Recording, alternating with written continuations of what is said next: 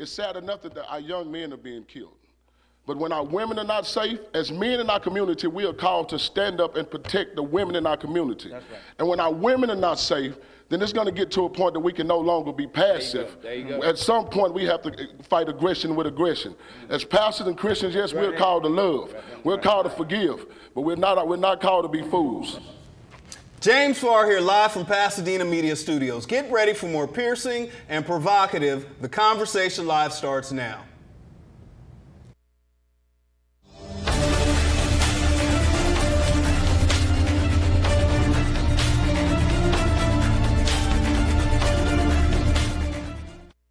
Welcome to another episode of The Conversation Live. The Conversation Live focuses on social justice, restorative justice, inclusion, and equality. Coming up today on The Conversation Live, we're going to have a critical and possibly uncomfortable conversation. I want to talk about the recent shooting in Dallas Fort Worth of our dear sister, Atiana Jefferson, by a police officer now charged. Also, we want to explore some solutions to ending gang violence and senseless violence in our community. Also, here in the seat today is the minister, Tony Muhammad of the Nation of Islam. He is the Western Regional Representative, as well as Michelle White, who is the founder of Servant Neighborhoods. And she's going to talk about the upcoming Peace Ride, Peace Walk. But first, let's take a look at this first clip, and then we'll welcome our guest in on the other side. Well, now to the outrage and the search for answers after a white police officer shot and killed a black woman in her own home through her bedroom window. ABC's Marcus Moore has the story. Atiana Jefferson! Jefferson! Overnight, protesters flooding the streets. No justice, no peace! We're tired of this injustice. Anger rising following the shooting death of 28-year-old Atatiana Jefferson, killed in her home by a Fort Worth police officer. Uh, I'm calling about my neighbor. The incident sparked by a phone call made by a concerned neighbor. In the newly released audio, Atatiana's neighbor tells police he noticed her front door was open around 2:24 in the morning and called a police non-emergency line to ask for a welfare check. I haven't seen anybody moving around. It's not normal for them to have both of the doors open this time of night. The neighbor unsure of whether Atatiana was home at the time. You know if anyone is inside? No, I'm not sure. Both of the calls are there. The dispatcher immediately sent officers to her home. This body cam video shows the moment the encounter turns deadly. The responding officer is not heard identifying himself as he approaches Jefferson's bedroom window and begins shouting commands. Put your hands up, show me your hands. Within moments, he fires one deadly shot through the window. And welcome back. Man, every time I've watched it, it, it I still feel a certain kind of way. But at any rate, Minister Muhammad, mm -hmm. Sister White, thank you so much for being here in the seat. Minister Muhammad, what's your reaction to this? I mean, because you've seen a lot of things in, in, in, your ministry and your work that you've done in the communities, the streets. Um, but what's your reaction when you see something like this? Well, on one hand, it just shows that there are different types of policing that's going on based on your ethnic makeup. If this call had come from a white neighbor or an Asian neighbor, you would have saw a different result. How so? What do you, you mean know? by what do you mean by that? In that, you know, you the officer, his mindset. You know, if you go into an area that's predominantly black, you already come in there with a bias. You come in there with a perception that something has to be wrong. You know, for somebody to get a non-emergency call, mm -hmm. to just come and check on a neighbor, you know, and that for that neighbor to be dead, mm-hmm. totally senseless. So my question is, what was in the mind of that officer who approached this scene? Mm-hmm. See? I mean, because for so many who, who, may be listening today and watching today, they may not understand why African Americans are so apprehensive about calling law enforcement. Is this one of the reasons why they don't do it? Well, absolutely, because we've had a bad experience with law enforcement from the time we landed on these shores. Mm-hmm. You know, from the plantation, from the overseer who became now the police. And so, therefore, the police uniform to the black community is what the swastika is to the Jewish community. Mm-hmm. If you bring a German soldier to any Jewish community, you re-stimulate the pain of their past. Mm-hmm. And so the blue uniform is not the human being in it. Sure And so there are certain biases. I've been through some of the training. Mm-hmm. I watch how the police officers act in Hollywood, but I also watch how they act in South Central. Mm-hmm. Totally different. Absolutely. That's the problem. You know, I what happened yesterday, and I don't think I've seen this in my 46 years, where a mayor, city manager, and a police chief actually used the words, "I'm sorry," and I apologize. Um, I don't think that that makes the death of this sister any easier on that family, but I'm wondering, is this their attempt to kind of quell kind of what may be rising up from people within that community who are because we're just coming off the last shooting in Dallas, you know what I mean? And so, um, but you know, let me let me check in real quick. You're watching the conversation live. The conversation live focuses on social justice, restorative justice, inclusion, and equality. My guest today is Minister Tony Muhammad as well as uh, Michelle White, and we're here for a very specific reason to talk about something that's going to be happening in our community here. It's a peace ride and, and peace walk.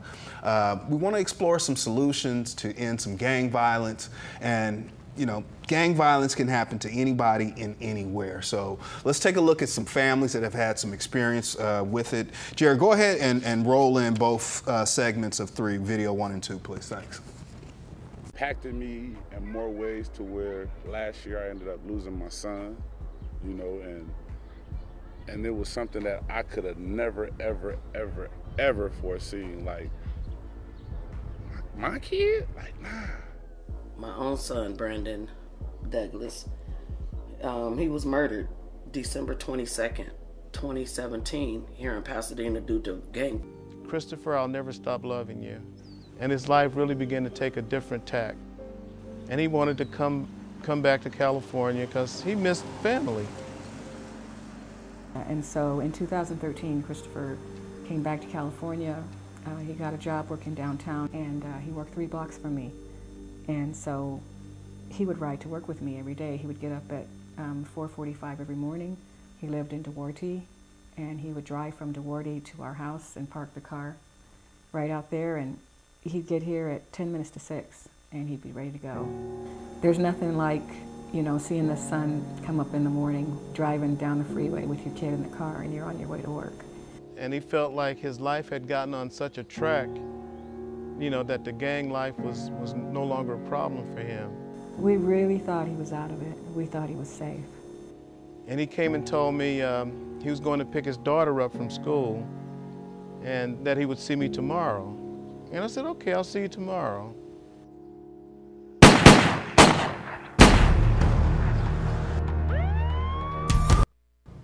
And welcome back, Michelle.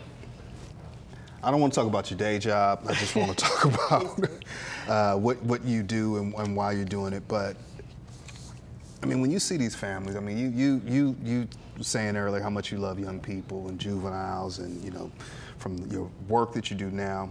When you see this, I mean, does it affect you in some way? And is, is this kind of like the catalyst as to why you wanted to organize this peace ride? yeah, peace for walk? sure. Especially with the first, um, the family is familiar with my sons. I have two sons that play football here in the city that are 27 and 26. So a lot of stuff that goes on now affects me in a whole lot of different ways. I mean, they were, I was a football president here. I was a baseball president here. So I'm seeing the kids in the community that were spending the night at my house now losing their life and then knowing the moms that are lost and left here behind.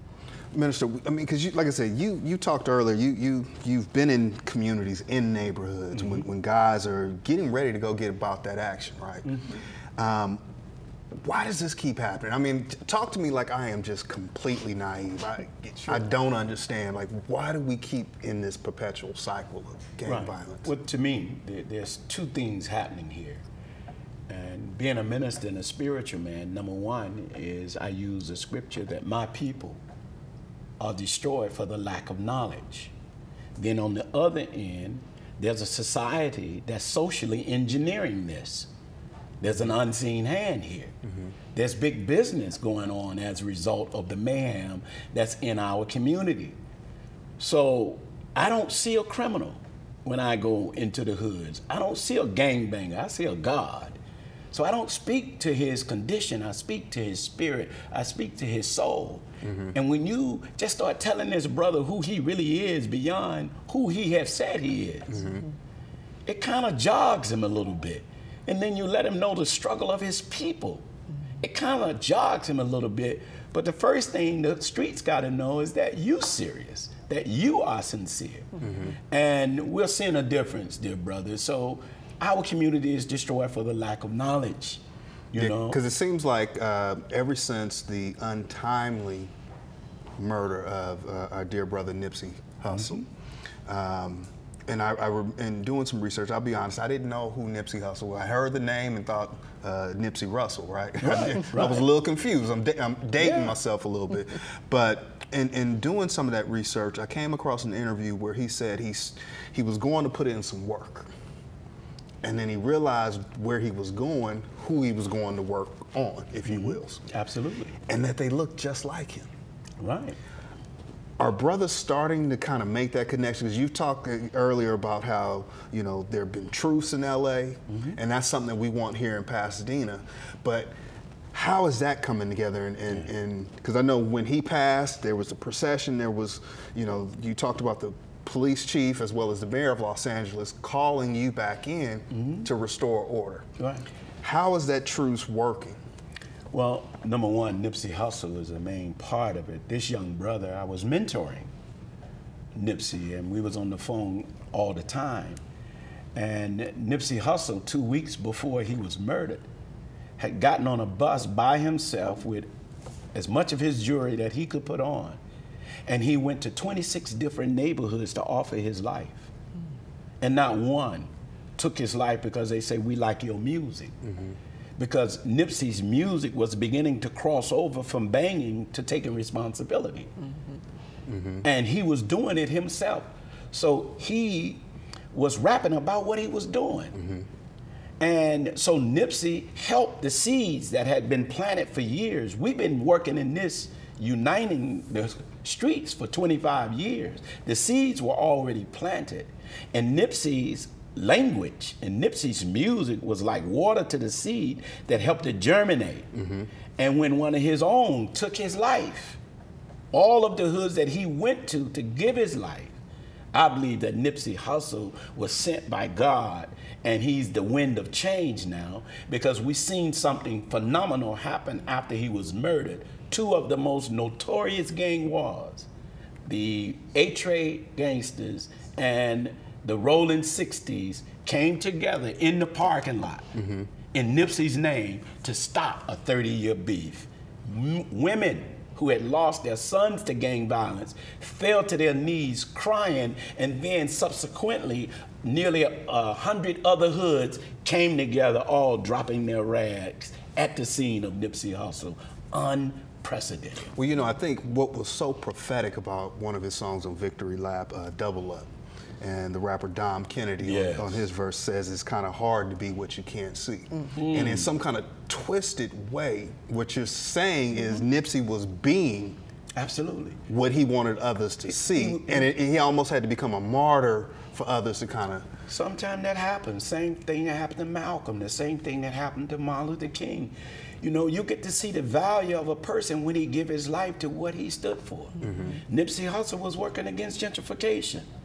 What people don't know, Nipsey Hussle have a 500 million to a billion dollar redevelopment project going on right in South Central. Even though he's dead, he wanted to hire his homies. He wanted to give them jobs because he said, I can't put everybody down on this rap game. Right. And so he was being about what he was rapping about, and he was as gangster with that as he was banging. Mm. Let me check in because I want to get to Michelle and why we all end up at this table today. You're watching the Conversation Live. Conversation Live focuses on social justice, restorative justice, inclusion, and equality. Got to push through this because we're running short on time. Jared, let's go ahead and cue up uh, this next segment, and we're going to talk about this uh, ride. And I want to ask Michelle why she decided to put it together. Roll it in, Jared. Hundreds of motorcycles and cars participated in the 10th United in Peace Ride. Quite a sight this afternoon at Magic Johnson Park in Willowbrook. About 1,000 motorcyclists took part in the event. United in Peace is a multi-ethnic, multi-faith movement aimed at lowering crime in the inner city. The group has been staging monthly peace rides in urban neighborhoods since last October.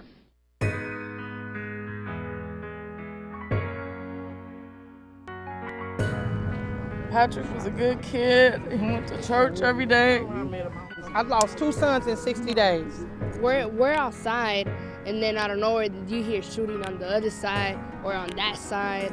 So then I just have to get all the little kids inside. Because when the truth be told, the same brother you shooting at over there, your mama might be going to church with that girl, with that young man's mama. That's right. That's right. You know, your daddy, your daddy working with that same kid's daddy at the plant, hoping he don't get fired, but you trying to kill him over some red and blue. The there was something that happened uh, here on set that, that caught our attention, and only the three of us will have that as an inside joke. But, uh, but with all seriousness, Michelle, this was the genesis. This was kind of what you saw. Why did you want to bring this to, to, to Pasadena? Jared, if you can pull up the flyer so people can get more information, but why did you want to bring this here? Well, if you just look at it, it's huge. It's it's it's a movement, and it's so um, what's needed here and uh, what I think our younger generation needs to see and start with the, the new movement. Um, I'm super passionate about the youth here in our community. Um, and I just I just love that area. So I think that you bring the two things together, especially with motorcycles and so take, take, take, me through today. So what happens? So it, it starts in the morning. There's going to be a ride out from uh, from LA or from different areas. Let's walk Just us through walk it real through quick. Okay, so yeah. 10:30 on uh, the 27th, we'd like all the kids of Pasadena to come together, and let's we're going to empower them and. Um, empower them to understand how they create peace in Pasadena by going back into their schools, their communities, et cetera. Um, they will walk from 11, uh, 11.30 to 12.15 and they'll end up in the front of City Hall and I have a whole rally that's just geared towards empowerment for children. Simultaneously, um, our United in Peace from LA will ride from LA into Pasadena. We'll be down at the Rose Bowl and then together we're going to pray for the young man that lost his life uh, down at the Rose Bowl. His father is a uh, rider in the United Peace and been fighting for peace in LA and unfortunately now he's a victim of a loss of his son. So we're going to um, memorialize him and pray for their family and build them up. Then we're going to take a ride through the Northwest with motorcycles, lowriders, and then we'll get to the front of City Hall somewhere between 2:30, 2:45, and from 2:45 all the way to 6, we're just going to empower our community. We would love for any family member that has lost a loved one in the city of Pasadena, we want you to come and just let us love on you and pray for you, give you resources, there's a ton of moms that want that are out there for you. There's a ton of faith-based that out there that just want to wrap our hands around. When you say resources, what kind of resources? So we have tons of. I have 50, 25 vendors. So we're looking somewhere at the top of like peace over violence, um, domestic violence, all the way down to housing, jobs, mental illness. Um, LGBTQ. I mean, it's a big, wide variety of what represents Pasadena and what we feel um, we can offer resources to. Now, Minister, you, you started this a decade or so ago, right? Yes. And, and, it just, you know, I understand it was something that the Minister, uh, Honorable uh, Farrakhan asked you to go out and, and start. Mm-hmm. How did this all kind of come together? I mean, because I, I, I learned today, because I don't ride nothing, yeah. right? Yeah. that the Harleys, the Hogs don't ride with the sports, the bikes. sports bikes. So you had some yeah. issues kind of even in that space, and you had to learn to ride a bike as well. Yes. How did it all come together? Well, it came together actually 25 years ago. Minister Farrakhan said, Brother, I'm sending you to Los Angeles. He said, This is the best generation we've ever produced. They just don't have no guidance. And whoever is going to guide them is going to have to be for real about what they do. So I'm going to send one of my best ministers to my worst places. Mm-hmm. So he said, win the streets. Get up next to the brother. Don't want nothing from him but to get to know him. So for 10 years, we brought together various street organizations. I don't call them gangs, we call them street organizations. And I won their trust, mm-hmm. all the way down to myself being brutally beaten by the LAPD at a prayer vigil. So when I almost lost my lives trying to save a life, that resonated throughout the streets. So I have a pass to go to any hood I want and I could at least get the ears of the brothers. So we wanted a movement. One day, a mother lost two sons in one day. And that mother's cry did something to my soul. When she cried and she said, Minister, please stop this, do something about it. And I promised her that her sons did not die in vain. And from that day, we would start a movement. Because every 30 years, there's a movement in the black community in America. So we're on the heels of another movement. And now we need peace among ourselves. So when I saw the bikers, and I saw that on those bikes are Bloods, Crips, SAs, but that bike bring them together. I looked at the lowriders. I'm like, Blood, Crips, Brown Brothers, but they in those cars riding together. So I said, if I could bring those two together to ride for peace while we walk, but the only way I could do it is that the bikers, I had to promise them, I'd never ridden a motorcycle in my life. Okay. At that time, I was 55 years old. I'm in my 60s now.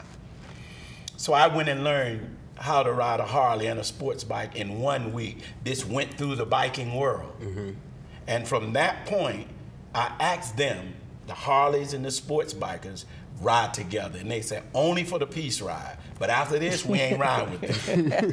but so I'm, I'm saying, so when the streets saw a Harley, Mm-hmm. because the streets know the culture, when they saw a Harley and a sports bike and Minister Tony out front, the gangbangers couldn't believe it. Like, whoa. And we riding through, throwing up the peace sign. Guess what the gang members did? They threw up the peace sign. Now you talked about the 30-year cycle of movements, Yeah. and and in the fragility of what the space that you occupy, you know, we're, it's an incident away from becoming no longer a movement but a monument. How do That's we right. keep this momentum going? What's Well- been what's what's keeping these brothers from, you know, putting down weapons and, and, and killing one another? Because now we're creating a venue where they can come together. Because in one of the uh, holy writings of the Holy Quran, it says, I have made you into tribes and families that you may know one another. What we're realizing is that the gang members, some of them are relatives and don't even know it. So we're creating the space. The beauty is the black gangs and the brown gangs trust the Nation of Islam. People can say what they want to say about us, but we are trusted. So instead of having the police there to uh, managing the situation, it's us there. And when the homies are getting to know each other, we're riding, they're listening to music. And we've seen more settling of gang uh, disputes at the Peace Ride than any other venue we've ever had. And it's all because somebody is showing them that we care. And this is what they said. They said, This is the first time we ever seen this many people come into our hood to show that you care. And that's what that's the impetus that have started this movement. And now the gang members themselves have decided we want this. Well, and Michelle, you know, Pasadena and Altadena, as you know, really could be one. You know, Mhm, kind of like for sure. uh, Hawthorne and Carson. right? They're really they're next door neighbors, and the communities are small. So you'll have some that may affiliate with one, but their cousins are down the street, Oh, yeah. and then and then another. When you got when you're out there doing your work in your day job, how is that impacting you? Well, just being on both sides, but I think uh, we run into both of those, and we don't, I don't, we don't treat them any different. So even all the um, empowerment work that I'm doing in the community from my nonprofit side, it's not um, I'm only going to work in Pasadena or in Altadena. I'm going to work in the community, period, and we look at both of those as communities. You believe the minister's uh, solution will work here in Pasadena? Oh, definitely. Just the things Why? he told us today. Just because it's, it's, he didn't give us a hard task. He just made us realize we already are doing the work. We just have to be more present and get on, and we have to be out. We all have to be together, and we have to be out on the ground. We can't be inside trying to work on our computer trying to figure it out. We got to be out there with the people. So. All right, well, we're getting hard up on time. Again, you're watching The Conversation Live. The Conversation Live focuses on social justice, uh, restorative justice, uh, inclusion, and equality. Uh, before we get ready to get out of here, again, I got to thank both you guys for, for Oh, thank you. taking time out of your schedules. And uh, May, may I? Yes, sir. I just want to say that what Michelle is doing and what we've done, dear brother, too. We've torn down walls. We're watching. The police wasn't with this at 1st but now the police officers are buying lowriders. We have police officers who've joined the Corvette clubs. You have gang members who had never touched a police officer in a friendly way. We had one peace ride where the police had to walk away crying because a perception that they had of our community was changed on that day. That he didn't believe that we ever wanted to do but kill each other. Mm-hmm. I'm talking about white officers, mm-hmm. brown officers, black police officers. I had a problem with police. That's torn down now as a result of this peace ride. Mm-hmm. Because it's all of us working together in the worst part of the community. And I say to white people that if you don't help us to restore South Central or Pasadena, you can't move this problem around because now your children are influenced by what happens with the rappers, with the streets. So if we don't solve this, it'll be coming to your neighborhood soon. I'm gonna park it right there. Jared, roll in uh, segment six, and then we'll get out of here on the other side.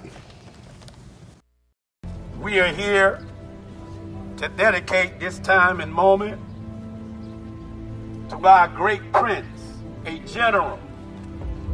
Let us stop all gang wars. Let us stop all black on black crime, brown on brown crime.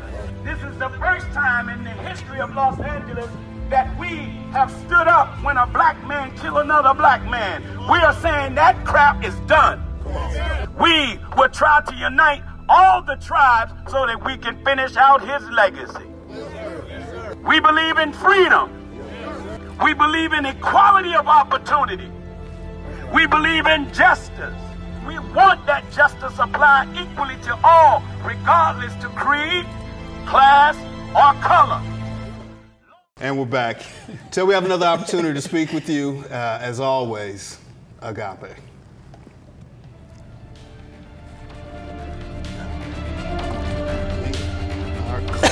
Thank y'all so much. No, this, thank you. This is awesome. It's so engaging. The Conversation Live is brought to you by